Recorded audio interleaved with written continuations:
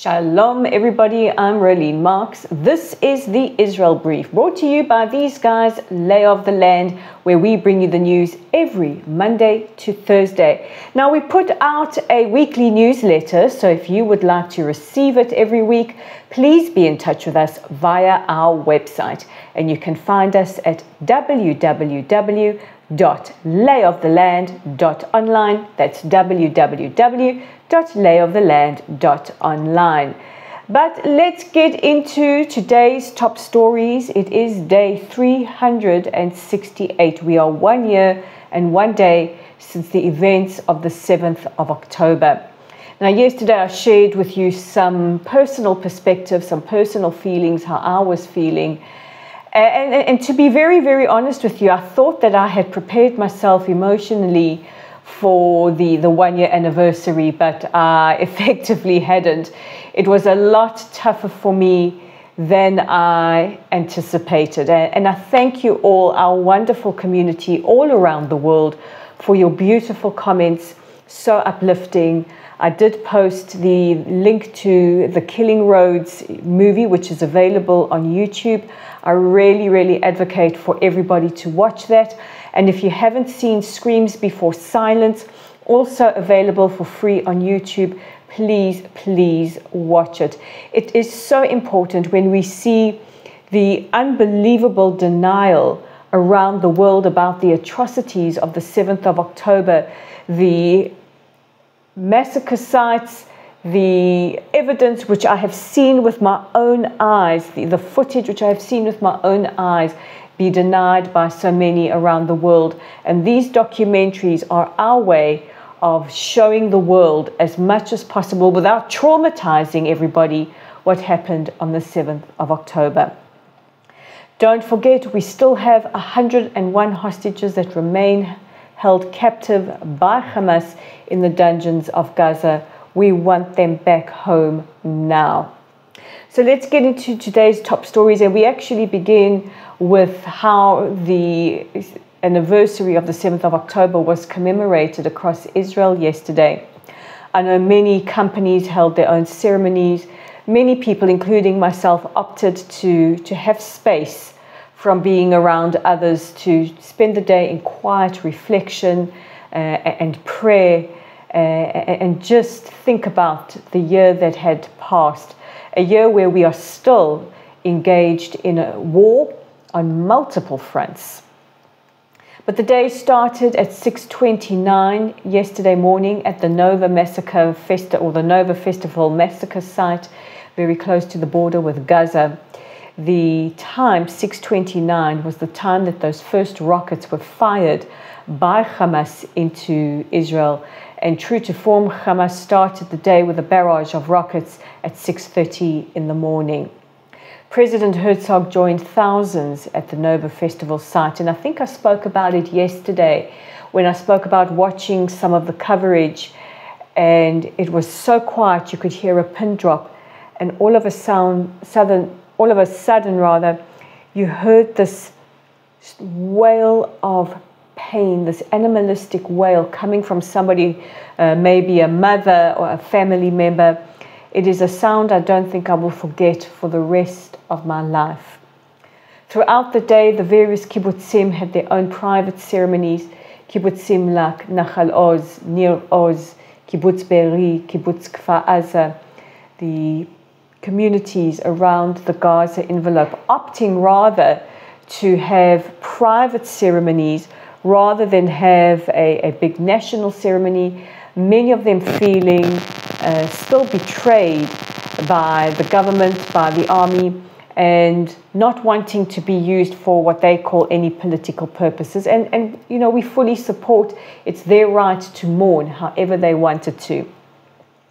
Last night we had an incredibly moving citizens memorial uh, funded privately, put on by the families of, of those who have either lost their loved ones in the attack or who are held captive in, in, in Gaza. It was incredibly, incredibly moving, featuring family members, some of Israel's best recording artists, and then straight after that, a pre recorded ceremony put on by the government.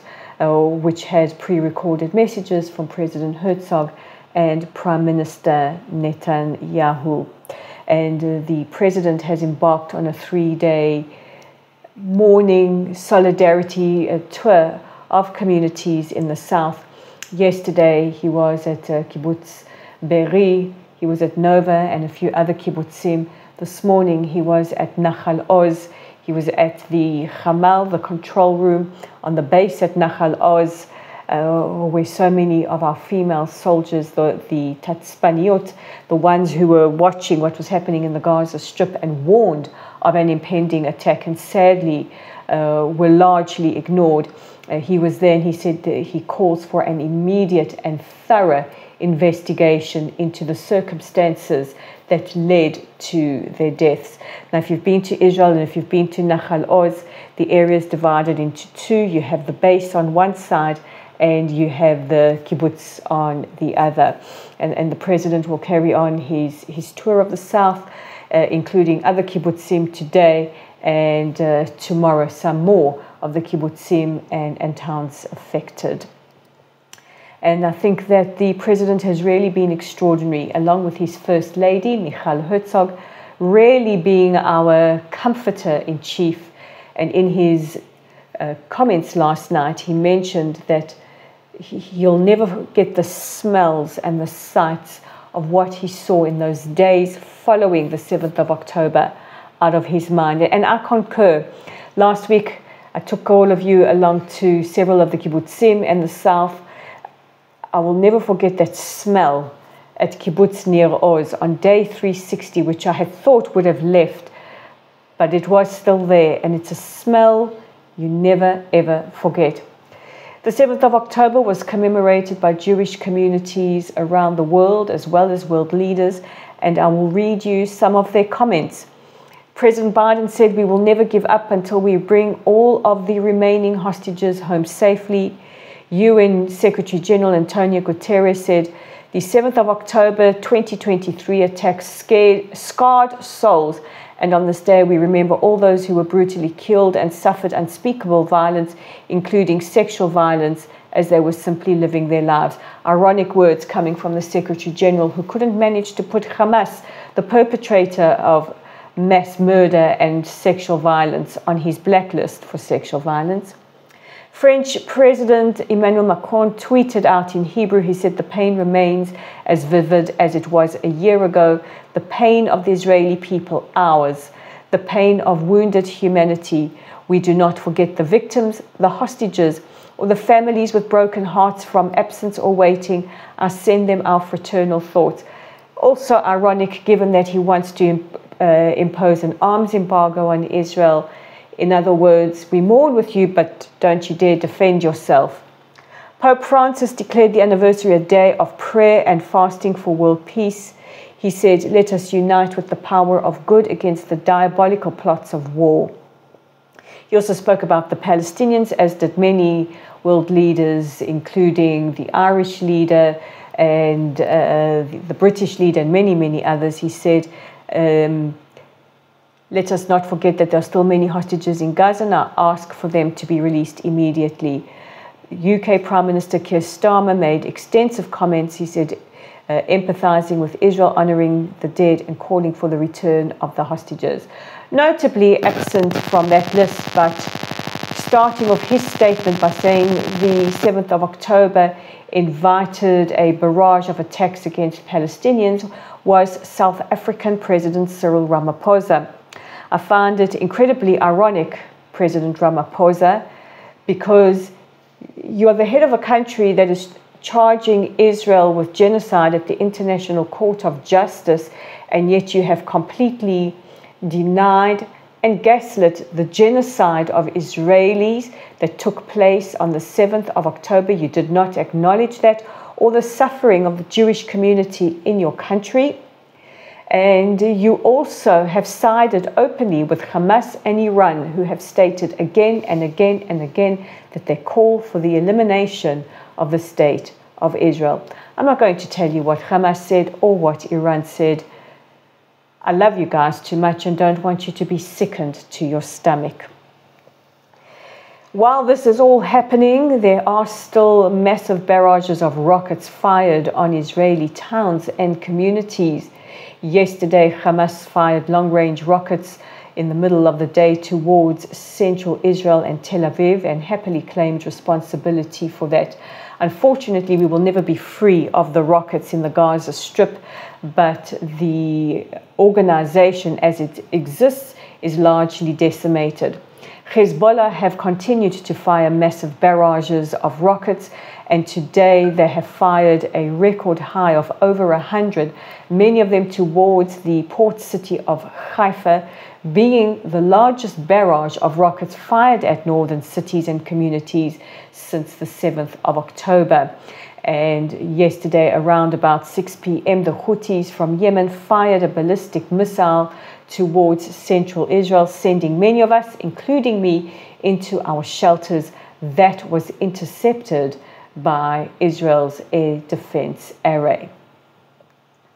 We now turn to Iran, and the world is watching to see how Israel will be responding to the massive barrage of missiles that took place on Tuesday night last week when Iran fired over 180 missiles into Israel, causing widespread damage to infrastructure but killing only one civilian, a Palestinian from Gaza. Now, the Iranian foreign minister earlier today warned that he has a bank of Israeli targets should Israel respond in any way. And it is believed that Israel is unlikely to attack the Iranian nuclear program or the oil fields. Many believe that Israel's likely targets could be IRGC bases, but uh, only time will tell. And finally, in a story that did not get the coverage it deserves, during the Rosh Hashanah holiday last week, news broke that the IDF, the Israel Defense Forces, along with uh, the Americans, and also, obviously not directly, but with the Iraqis managed to rescue a Yazidi girl who had been kidnapped by ISIS and taken from her home in Iraq into the Gaza Strip. She was 11 years old. She was forced to have two children and she was rescued by our forces after 11 years in captivity. Now, this rescue mission had been in the planning for months, and I'm sure we are going to hear more and more about it. But Fauzia Amin Sido was reunited with her family in Iraq. If you go back over a decade now to when ISIS were uh, embarking on their trail of medieval barbarity across Iraq and, and across areas that uh, belong to the Yazidi people committing wholesale genocide and taking many of the Yazidi women and girls captive as sex slaves. This is a truly extraordinary story.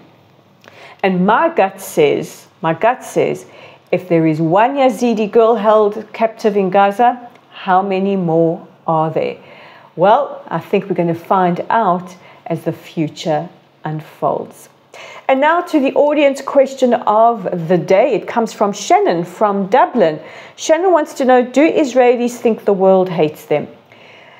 That's a very good question, Shannon, because we look around the world and we see the reaction to the, the worst massacre against the Jewish people since the, the Holocaust, and we see the marches on streets around the world. And we do believe, Israelis do believe that, first of all, we are misunderstood, and that the world doesn't understand the veracity of the, the fight that we are fighting here in Israel, which we believe is the fight for, for civilization. But um, do I believe the world hates us? I don't, because I think the silent majority stand with Israel. I think many people are too intimidated to express themselves or participate in marches or be identified as pro Israel. But Shannon, I do believe that many around the world stand with Israel. And here I want to thank the many Irish people who have stood up and stood for Israel and who have participated in, in rallies across Ireland. Thank you for that. I don't know how to say thank you in, in Gaelic, in, in, Irish, but uh, thank you so much for that. And guys, that brings me to the end of today's edition of the Israel Brief. Don't forget to check out our website at www.layoftheland.online, our Facebook page at Lottel's site, our YouTube channel right here at the Israel Brief. We are on uh, Instagram at Rolene underscore Marks, LinkedIn at Rolene Marks, and if there are any I've left out, oh, X at Lay of the Land 5. God bless you. Take care of yourselves. Take care of each other. I will see you again tomorrow for another edition of the Israel Brief. Bye for now.